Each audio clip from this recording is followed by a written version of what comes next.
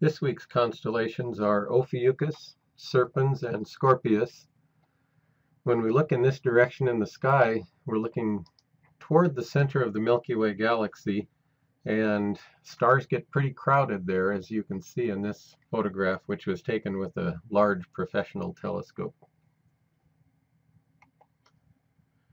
This is a view of the sky that includes the constellation of Scorpius, this picture was taken in Hawaii, which lets us see the complete extent of the asterism for Scorpius. If we were in Washington State, which is more than 45 degrees north of the equator, we would not be able to see the southernmost parts of Scorpius. Here's what the asterism for Scorpius looks like. Maybe a bit like a scorpion, at least in the tail area. The brightest star in Scorpius is Antares, a word that means the rival of Mars. and Antares is a red supergiant star, about 800 times the Sun's diameter. It's actually larger than the orbit of Mars and puts out about 65,000 times the power output of our Sun. Here's another view of this part of the sky. This one shows Ophiuchus and Serpens.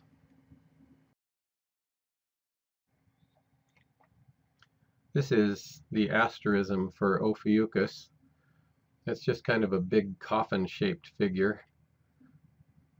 Ophiuchus is Greek for the serpent bearer, and Ophiuchus is supposedly carrying a snake, and you can see it here on either side of Ophiuchus.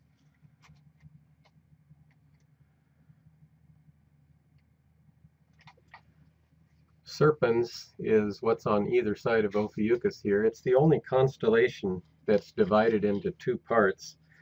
The right half here is called Serpens caput. That means the head of the snake. The left half is called Serpens cauda, which means the tail of the snake. Together, the two parts of the constellation are just called serpens. You may notice that the head of the snake looks kind of like an X. That's just the shape that I happen to see. And I think to myself, X marks the spot for the head of the snake. I find it easiest to find the head of the snake by using an asterism just above the head of the snake.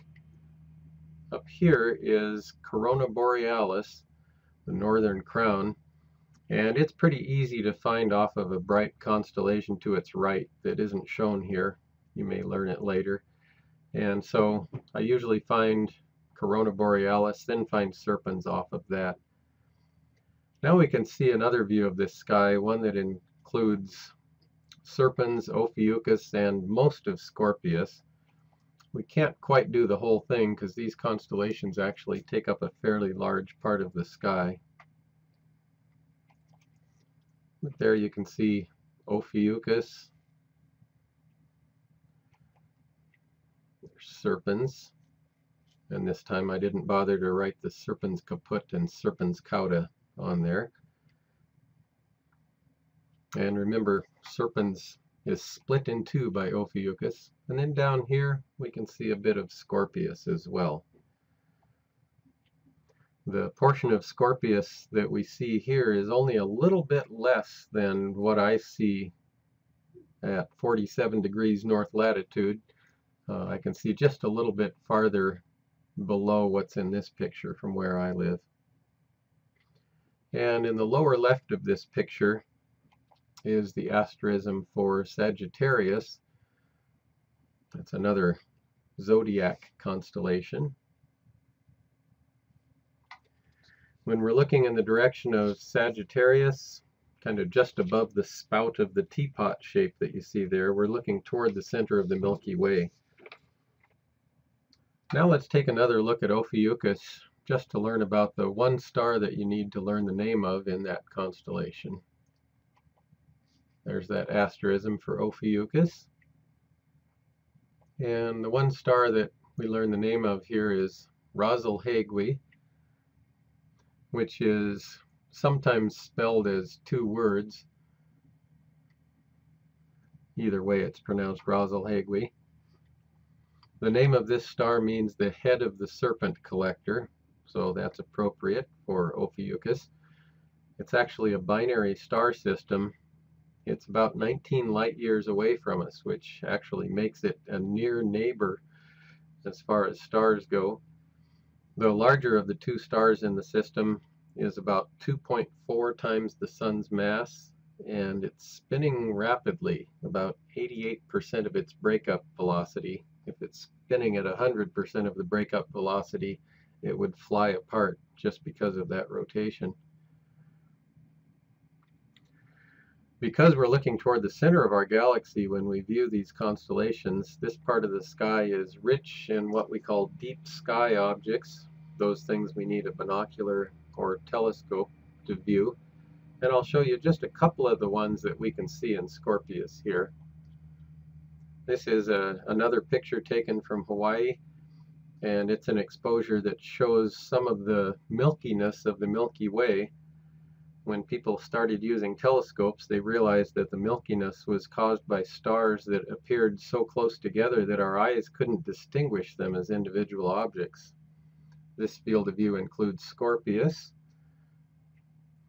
which, because this was taken from Hawaii, we can see all of again. And Sagittarius is over here on the left. Sagittarius is usually barely above our southern horizon, but it was high in the sky in Hawaii. One of the deep sky objects in Scorpius is Messier Object 4, which is right there.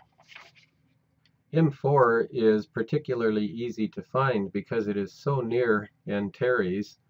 In fact, a single binocular or finder scope field of view will include Antares, M4, and another star in the asterism for Scorpius, so that makes an easy find. M4 is a globular cluster. There's a photo of it. It has an apparent magnitude of 7.1 which is a little bit outside the range for the eye under dark skies, but it's easily visible in small binoculars. It's one of the closest globular clusters to us, about 7,200 light years away.